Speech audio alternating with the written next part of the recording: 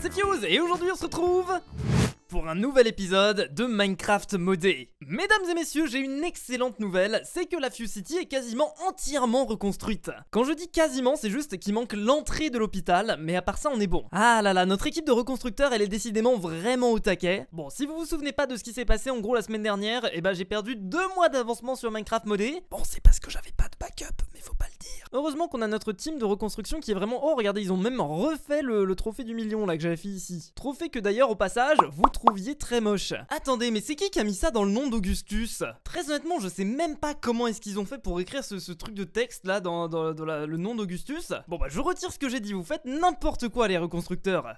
Bon, j'ai envie un petit peu de profiter du fait que la Fuse City soit quasiment reconstruite pour un petit peu avancer dessus. Bon, alors pour le coup, la Fuse City, vous avez été hyper nombreux à me faire plein de propositions dans les commentaires. Donc bah écoutez, c'est y part. Ok, alors on m'a donné une première idée qui est vraiment une très bonne idée. Je pense que vous êtes d'accord avec moi, pour l'instant, il y a pas mal de maisons dans la Fuse City qui ne sont pas attribuées. Du coup, ce que quelqu'un m'a proposé, c'est d'attribuer une maison à chacun des reconstructeurs. C'est une très bonne idée. Aywen, Strikes, Gaspaccio, Le Peignoir, et enfin Quentin. Et bah pour être honnête avec vous, je crois qu'il me reste plus énormément de maisons à attribuer dans la Fuse Corp en fait maintenant. hein. Ouais, bon par contre là, ce chemin il me stresse. Je vais faire quelques petites modifications, quitte à faire des trucs que j'avais déjà fait avant. C'est pas grave si les reconstructeurs ils font pas tout en fait au final. Typiquement là, le fait qu'il n'y ait pas de bordure sur cet escalier, ça me stresse comme pas possible. Donc j'ai quelques petites modifs à faire. Allez hop, c'est comme avant et même encore mieux. Pour le coup, là, je suis chaud pour faire un petit peu de reconstruction. Putain, en vrai, il y a tellement de trucs à faire là. Je, je sais pas aujourd'hui, je suis motivé là. On, va continuer. Bon bah voilà, c'est nickel. On a notre maison. Fais-en une deuxième. Allez, une deuxième? Allez, ok. Et on part, on part sur une deuxième. Allez, je suis fou. Bon, là pour le coup, pour la deuxième maison, j'ai essayé de faire un truc qui change un petit peu de d'habitude. J'ai foutu un pont entre les deux maisons que j'ai construites et je trouve ça très sympa en fait de faire des connexions entre les différentes maisons de la Fuse City. Ça, ça rend vraiment la ville hyper vivante. D'ailleurs, je pense que je vais faire une petite connexion entre ces deux maisons là. Je vais faire un jardin commun. Bref. Ah, les gens, dans le dernier épisode, on avait construit cet étage. Cet étage, c'est l'étage que j'avais préparé pour Soristos parce qu'à l'épisode 20 de Minecraft Modé, j'avais perdu un gage. Et justement, le gage, c'est que je devais faire un étage spécialement pour Soristos. Bon écoutez, de toute façon on va bien être obligé de le faire un jour ou l'autre cet étage, donc ce soit aujourd'hui ou dans 3 jours, bon bah voilà on va le faire hein. Sachant que dans le dernier épisode, j'avais demandé à Soristos ce qu'il voulait avoir à l'intérieur justement de son étage. Entre temps il m'a répondu un salon de télé, mon skin en grande taille et un mini parcours de paintball, ou d'armes juste. Euh ok, bon bah écoutez, euh, si jamais c'est ce qu'il veut, on va essayer de faire ça. Mais ouais, bon écoutez, on va essayer, c'est parti. Oh là là, quelle galère c'était de construire cette pièce. La prochaine fois, Soristos, c'est toi qui auras un gage, hein, je vous préviens. Bon alors, comme vous pouvez le voir, j'ai respecté ces trois conditions. Le salon télé, son skin en grand, et enfin la dernière chose dont je suis le plus fier, c'est le parcours de paintball. Bon là, vous devez sans doute vous demander un petit peu, mais qu'est-ce que c'est que ce machin? Alors en fait, dans Applied Energy Sticks, il y a un flingue qui s'appelle le Matter Gun, et en gros, c'est à peu près l'équivalent d'un pistolet paintball. C'est-à-dire que quand je fais un clic droit, vous pouvez voir que ça m'affiche une espèce de petite marque sur un bloc. Et ben là, tout simplement, le concept de ce parcours, c'est de faire le parcours le plus vite possible et de tirer à chaque fois sur le centre des cibles. Donc en gros, alors par contre, pour faire le parcours, il faut retirer son, son, armure, sinon c'est un peu galère. Donc ça donnerait ça, en tout cas, si je faisais le parcours. Alors par contre, oh, ah si, ça marche, d'accord. Alors j'ai l'impression que quand on saute, bon, j'ai pas testé le parcours, hein, c'est pour ça. Donc voilà, Et une fois sur deux, ça marche pas. Par contre, ça c'est un petit peu frustrant. Ah, c'est peut-être aussi parce que j'ai plus de munitions.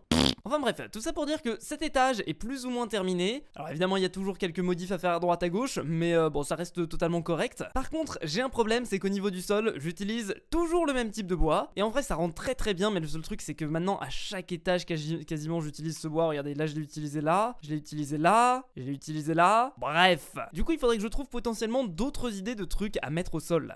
Bon, je pense que vous serez d'accord avec moi. Ça fait longtemps qu'on n'a pas travaillé sur Augustus. Alors, avec Augustus, je vous rappelle que j'ai pour projet de faire une ferme automatique à Chaos Guardian. J'avais mis les sources sur GitHub pour que les gens puissent m'aider à avancer sur le projet. Et très franchement, je suis super content de ce qui a été fait parce qu'il y a eu beaucoup de progression. Mais je dois avouer que j'ai pas eu trop l'occasion de tester le programme par moi-même. Du coup, c'est ce qu'on va faire aujourd'hui. Normalement, si tout se passe bien, le robot devrait aller jusqu'à la plateforme du Chaos Guardian. Il devrait casser tous ses shields et il devrait s'arrêter là. C'est déjà pas mal, si jamais vous voulez mon avis. Je vous rappelle que malheureusement, Len ne fonctionne toujours pas sur notre serveur, je sais toujours pas d'où ça peut venir. Donc on va repasser par le serveur abonné pour tester notre système avec Augustus. What?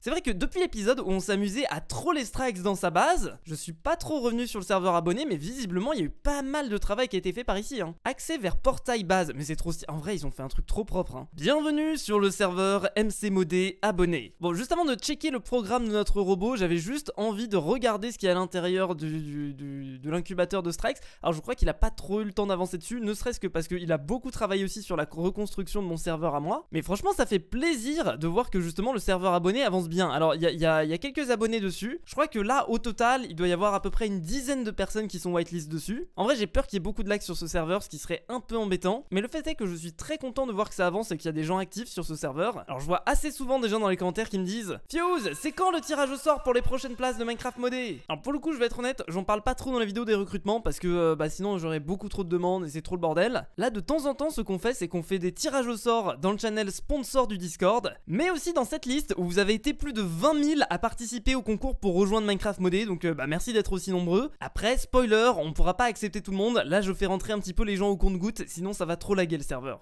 Bon, je suis tranquillement arrivé dans l'end pour tester Augustus. J'ai essayé de démarrer Augustus et là... Ok, bon, j'ai tout réparé, on va pas refaire un test avec Augustus. On exécute main.lua. Donc, on a le robot qui monte et normalement, il devrait... Ah oui, d'accord, ok, bon, il y a toujours ce problème où il reste bloqué. Alors, en fait, de ce que vous m'avez dit dans les commentaires, le problème pour lequel il reste bloqué, c'est parce qu'il est trop haut du sol. En fait, dans Open Computers, il y a une configuration qui, par défaut, dit... Ok, donc, si jamais le robot est à plus de 10 blocs du sol, il peut plus avancer.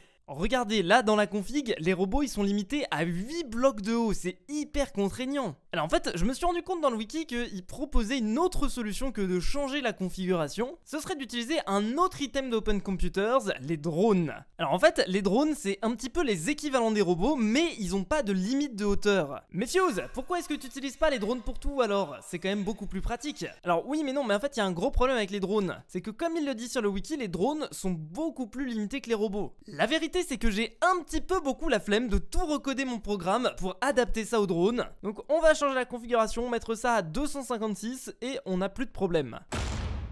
Alors alors, après un petit redémarrage du serveur, on va pouvoir exécuter le programme et j'espère que ça... Oh putain, il monte vraiment très vite en fait, il est super rapide Alors je sais pas du tout jusqu'où il va monter, je crois jusqu'à la couche 131, je crois qu'il est configuré pour ça. Et non, il s'arrête pas hein Alors peut-être qu'il va aller jusqu'à la couche maximum pour pas être embêté quand il va se déplacer, ce qui serait un petit peu intelligent, c'est vrai. En fait là je suis en train de réfléchir, il faut absolument pas que je perde le robot en chemin. Parce que le truc, déjà en plus le, ciel est noir, donc je vais vraiment avoir du mal... Ah mais non, mais, qu'est-ce qu'il fout? Augustus, tu fais quoi? Tiens, je me rends compte que j'ai aussi oublié de mettre le chargeur dans Augustus, mais là, là je sais pas trop ce qui se passe. Pourquoi est-ce qu'il est bloqué? C'est une bonne question. Bon écoutez, ce qui est sûr c'est qu'il y a quelques petites modifications à faire sur Augustus. Je sais pas exactement où est-ce que ça bloque. Le truc, c'est que le programme a énormément changé depuis que j'ai bossé dessus. Moi, il y a énormément de gens qui ont rapporté euh, apporté leurs modifications, etc. Et du coup, ça ressemble plus du tout à ce que c'était avant. Résultat final, ici on a un Augustus qui fonctionne, mais euh, bon, y a, là, il doit y avoir un, problème. Euh, enfin voilà, ça, va être un truc débile, genre un, truc que j'ai oublié d'initialiser ou je sais pas. Mais enfin, je, vais quand même euh, parler aux gens qui m'aident avec moi à bosser sur le projet, sur le Augustus, voir si jamais c'est pas un bug que eux aussi ils ont de leur côté et qu'il faudrait régler. Ok les gens, bon on se retrouve dans le Flora Garden et très honnêtement je sais pas ce qui se passe mais depuis le problème qu'on a eu la semaine dernière il y a énormément de mobs qui spawnent absolument dans tous les sens. Ah quoique c'est vrai qu'avec le reset j'ai plus de mégatorches dans le Flora Garden. Hop là, directement à l'intérieur de l'arbre. D'ailleurs, l'arbre, j'ai oublié de vous en parler, mais il a été entièrement refait. Alors, il y a juste un petit problème avec l'arbre, c'est que j'ai l'impression qu'il a été refait avec des feuillages vanilla. Vous savez, dans Minecraft, il y a deux types de feuillages. Il y a les feuillages posés par un joueur, et ceux-là, ils ne dispawnent pas. Et il y a les feuillages qu'on trouve naturellement sur les arbres, et ceux-là, ils dispawnent au bout d'un certain temps si jamais il n'y a pas de bois à côté. Pour le coup, les reconstructeurs, je crois qu'ils ont utilisé le mauvais type de feuillage. C'est pour ça qu'il y a des espèces de feuilles un petit peu partout en mode complètement random. Bon, c'est pas très grave, ça à la limite, ça se règle assez facilement. Un truc qui se règle un petit peu moins facilement par contre, c'est ces espèces de trous qu'il y a à l'intérieur du dôme. Il y en a un là, un là, un là, un ici. Enfin bref, il y en a partout et je sais absolument pas à quoi est-ce qu'ils sont dus ces trous, c'est pas moi qui les ai faits. Alors il y a quelques épisodes, je sais qu'on avait fait des trous volontairement à l'intérieur du dôme pour faire genre que la nature avait repris ses droits. Sauf que là, les trous, ils sont beaucoup trop ronds, ça fait pas naturel. Je sais pas qui les a fait et pourquoi, mais ouais, ça rend pas très bien. Bon, après avoir demandé aux autres reconstructeurs si ça savez bah, ce qui s'était passé au niveau des trous dans la, dans la Gigafactory, là, enfin dans le... Dans, putain, je confonds tous les noms. Dans le Flora Garden. Ouais, je leur ai demandé si jamais ils savaient de quoi est-ce qu'il s'agissait, et apparemment, bah, eux non plus, donc c'est très bizarre, il doit y avoir quelqu'un, une petite souris qui est venue et qui a grignoté le, le dôme, je sais pas. Bon, si je suis venu ici, c'est pour avancer sur Forestry. Bon, par contre, au niveau de Forestry, je vous ai jamais vu aussi indécis. Je vous avais expliqué la semaine dernière que si jamais on mettait un étage Forestry à l'intérieur de la Fuse Corp, ça allait causer un gros problème parce que les arbres de Forestry, ils ont besoin de voir justement une source du soleil. Enfin, ils ont besoin de voir le soleil pour pouvoir pousser. Donc, si jamais je mets ça à l'intérieur de la Fuse Corp, va y avoir un toit au-dessus et du coup, ça ne va pas du tout marcher. Donc, vous étiez nombreux à me dire, ouais, mais Fuse, du coup, t'as juste à mettre ça à l'intérieur du Flora Garden, c'est nickel. En plus, t'as plein de place. C'est exactement ce que j'ai fait. Regardez, il y a mon petit stand Forestry juste là-bas. Sauf que maintenant que j'ai mis tout mon truc Forestry dans le Flora Garden, vous êtes tous à me dire, ouais, mais Fuse, en fait, il faudrait que tu fasses Forestry au dernier étage de la Fuse Corp. Comme ça, tu auras accès au soleil. Bah oui, mais le seul truc, c'est que j'avais prévu depuis le début de la construction de la Fuse Corp que le dernier étage, ça serait mon bureau. Comme ça, j'aurais une vue gigantesque sur la totalité du monde autour de moi. Donc, je suis désolé, mais Forestry au dernier étage de la Fuse Corp, c'est mort. Bon, ça fait quand même quelques épisodes que je suis en grosse galère avec Forestry et que j'arrive pas à créer de nouveaux types d'arbres. En fait, j'ai reçu un commentaire qui explique plus ou moins pourquoi est-ce que j'ai pas de nouveaux types d'arbres qui apparaissent. C'est parce que pour avoir une mutation des arbres, il faut mettre plusieurs arbres au même endroit. En tout cas, c'est ce que vous m'avez dit. Après, ça apparaît logique, c'est-à-dire que si jamais vous combinez deux fois le même arbre, et eh bah vous obtiendrez le même type d'arbre. Alors que si jamais vous combinez deux types d'arbres différents, et eh bah vous allez obtenir un tout nouveau type d'arbre qui sera le mélange des deux. Donc là, je vais planter quelques birch saplings et avec un petit peu de chance, on obtiendra de nouveaux types d'arbres. Alors honnêtement, bah, je, sais pas trop à quoi m'attendre. Est-ce que ça va marcher? Est-ce que ça va pas marcher? J'espère. Hein. J'en ai mis une quantité raisonnable, ça devrait faire le taf. En tout cas, si jamais c'est ça qui manquait, bah ça devrait, ça devrait le faire. Alors je sens que certains d'entre vous vont me dire, attends mais Fuse, est-ce que t'es sûr que tu peux les mettre aussi loin les arbres? Alors je pense très honnêtement que au niveau de la distance par rapport aux ruches, ça pose pas de problème parce que j'ai vu un tuto sur internet où la personne elle disait justement que ça avait une très grosse portée. Mais normalement avec la quantité d'arbres qu'on a ici et la quantité d'abeilles, on devrait assez rapidement obtenir des résultats. Donc si jamais il se passe rien, c'est qu'il y a un problème.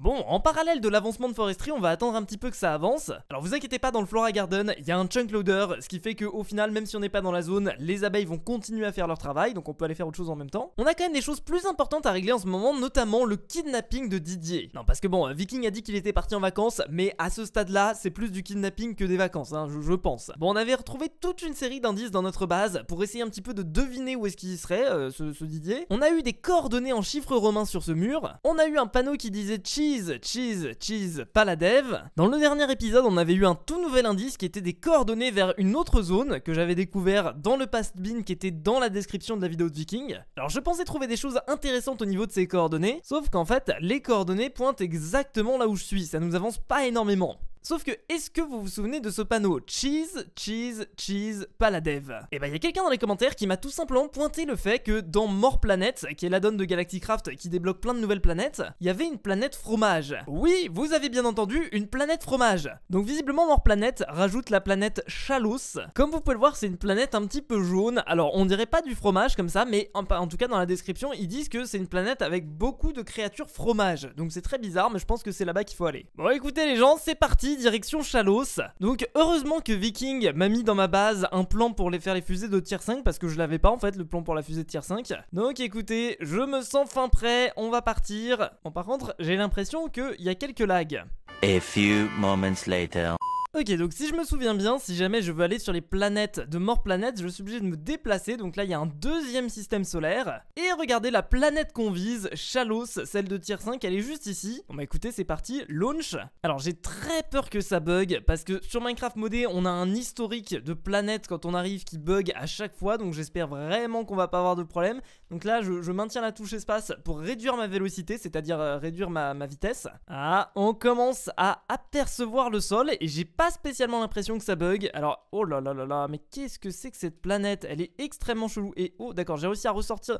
Ah mais d'accord, mais en fait c'est comme des, trucs de slime, mais c'est trop bizarre cette planète. C'est du cheese slime block, mais c'est énorme. Donc vous voyez, ici on a bel et bien affaire à une planète qui est faite en fromage, mais c'est trop classe. Alors là, il me met oxygène setup is invalide, ça veut dire que j'ai pas d'oxygène. Après j'ai une armure tellement OP que même sans oxygène, j'arrive à survivre quoi. fait tout est fait en fromage. Là par exemple on a du cheesegrass. Ah non, enfin un truc qui n'est pas fait en fromage, on a de la Kalos Rock juste ici, c'est sympa. Et oh regardez c'est des vaches, c'est des cheese mais c'est génial. Et quand on les tue on obtient du raw cheese beef. Ok en gros tout est... En fait c'est l'équivalent du, de l'overworld, mais tout est fait en fromage. Bon alors je vais juste explorer un petit peu à droite à gauche et après on ira à la, rescousse de Didier. Mais je dois avouer que jusqu'ici c'est la planète la plus accueillante qu'on ait eu. Hein. Alors ici on a un espèce de liquide. C'est quoi ce liquide? Est-ce qu'il me donne un effet de potion? J'ai pas spécialement l'impression. Ah si regardez il me donne un effet de saturation. Ça veut dire que quand je suis dans ce liquide, je perds pas de, je perds pas de nourriture. Waouh Tiens il y a des petites fleurs aussi. Les cheese spore flowers. Elles permettent de faire des capsules infected protection. Qu'est-ce que c'est que ce truc? Ah faudrait que je me renseigne. Ça a l'air d'être vraiment très intéressant par contre ça. Ok, donc j'ai cherché ce que c'était que cette espèce de capsule, mais le seul truc que j'ai trouvé c'est ce machin, donc je pense pas que ça soit ça. Bon bah écoutez, si jamais vous savez à quoi servent les capsules, je suis preneur. Alors, est-ce qu'il y aurait un Didier dans les parages? Normalement, si jamais il y a des indices sur l'endroit où se trouve Didier, il devrait être par ici. Mais j'ai pas spécialement l'impression. Il y a juste énormément de cheese slime blocks, mais il y a rien d'autre. Eh, mais regardez d'ailleurs, avec les cheese slime blocks, visiblement, on peut se faire des cheese slime pads. Ça sert à rien, mais c'est bon à savoir. Non, par contre, là, ça me plaît absolument pas du tout parce que Didier n'est pas là. Il y a absolument visiblement aucun indice sur où il peut potentiellement être. Bon, là, je suis allé aux coordonnées qui étaient en chiffres romains, c'est-à-dire 1951, 81, 652. Mais il y a rien du tout. Mais franchement, je sais pas ce qu'il fait Viking, mais il me met des coordonnées dans tous les sens qui servent à rien. c'est trop bizarre. Je suis allé aux autres coordonnées, celles que j'ai trouvées dans le dernier épisode dans le past bin qui avait sous sa vidéo. Et il y a encore rien. Viking Bah écoutez, là pour le coup, je, dois avouer que je donne ma langue au chat, je sais absolument pas où est-ce qu'il peut être le, prochain indice. Euh, ça se trouve c'est Didier en fait, hein. ça se trouve il a pas de prochain indice. Le pire c'est que j'ai tout bien décodé, je, vois vraiment pas ce que ça peut être. Sachant que c'est forcément sur le Paladev, parce que sur son panneau il y avait marqué Paladev. Allez, maintenant que je suis là, autant aller combattre le boss de la dimension. Tiens, d'ailleurs, c'est rigolo là. Ils ont fait des. En vrai, c'est dommage que ça soit pas du fromage fondu, le, le, liquide qu'il y a sur cette planète. Ouais, du coup, ce que je disais, maintenant que je suis là, autant aller directement euh, combattre le boss. Hein, ça, ça coûte rien. Et franchement, j'aime beaucoup les paysages. Cette planète, elle est beaucoup moins hostile que les autres. Ça fait plaisir pour une fois. Donc, il faut que je trouve un donjon. Et apparemment, il y aurait un boss fromage dans cette dimension. Donc, j'ai hâte de voir ce que c'est. Bon les gens, je vais être full honnête avec vous, j'en ai marre. Bon là ça va faire euh, bien 20 minutes que je cherche une entrée à un donjon justement pour essayer de trouver le boss fromage. Alors est-ce que ça serait une entrée? Non, c'est pas une entrée, ça c'est une entrée de grotte. Ça aussi c'est une entrée de grotte. Bon grosso modo, je trouve que des entrées de grotte et aucune entrée de donjon. Bon le seul truc qui me console, c'est que j'ai réussi à trouver le minerai de cette planète. Donc je pense que ce minerai il nous servira par la suite quand on voudra faire les fusées de tiers supérieur. Mais à part ça, euh, alors là il y a quoi? Ça c'est... Ah, ah il doit avoir une lune je crois que cette planète a une lune. Donc ça, on pourrait peut-être aller explorer là-bas aussi, ça c'est possible. Non, mais écoutez, j'ai vraiment pas de chance au niveau des entrées de donjons, ça, ouais, c'est trop long, donc je vais passer à la suite parce que j'en ai marre et on trouvera ça dans un prochain épisode. Ok, bon, incroyable nouvelle, hein, avec tout le temps que j'ai passé dans l'autre dimension, surprise, il n'y a aucun arbre qui a muté. Donc certes, ok, peut-être qu'il faut deux types d'arbres au moins pour faire des mutations, mais faut croire que c'est pas suffisant. Il faut aussi peut-être euh, certains types d'abeilles, je pense que c'est ça, j'ai vu des gens dans les commentaires qui me disaient qu'il fallait obligatoirement des abeilles de la forêt, et là c'est pas des abeilles de la forêt que j'ai. Mais voilà, je vous avoue que je suis quand même un petit peu déçu, donc bon, on va, on va tenter d'autres choses. Pas aujourd'hui parce que là j'en ai un petit peu marre de foresterie. Alors, dans le dernier épisode, j'ai reçu un commentaire assez intéressant en plusieurs parties alors c'est vrai que des commentaires en plusieurs parties, il y en a pas mal à chaque épisode. Je les lis pas en vidéo parce qu'à chaque fois ils sont hyper longs, donc c'est assez difficile de caler ça en vidéo. Mais la plupart du temps, si jamais le commentaire est en top com, je, le prendrai en compte. Bref. Et le mode caca, pas d'excuses, je l'ai recodé main et les liens avec les sources sont sur file.dadoom.ml. Ok, alors bon, pour ceux qui savent pas à quoi est-ce que je fais référence là, en janvier ou en décembre, je me souviens plus très bien, j'avais fait une vidéo dans laquelle je m'amusais à tester un mode vraiment chelou. Il s'avère que c'était un mode qui rajoutait plein d'items caca, et j'ai dit qu'à 40 000 like, je rajouterai ce mode sur Minecraft modé. Bon, évidemment, ce qui devait arriver est arrivé. Sauf que j'avais pas pu installer le mode en question parce qu'il était pas pour la bonne version. Donc là, visiblement, cet abonné, il a recodé le mode en entier et il l'a mis sur son site. Donc j'irai jeter un petit coup d'œil. Après, je vais être honnête, le site il m'inspire pas spécialement confiance. Mais bon, visiblement, il y a les sources, c'est-à-dire le code qui est derrière le mode. Donc je jetterai un petit coup d'œil, voir si jamais il n'y a pas de virus parce qu'évidemment, il a pu mettre un virus dedans. Donc faut que je check avant de mettre ça sur le serveur. Donc ça, c'est le premier point de son commentaire. Agrandit la ligne de métro vers le château de Fusette. Hashtag remplissage. Attends, depuis quand on a une ligne de métro?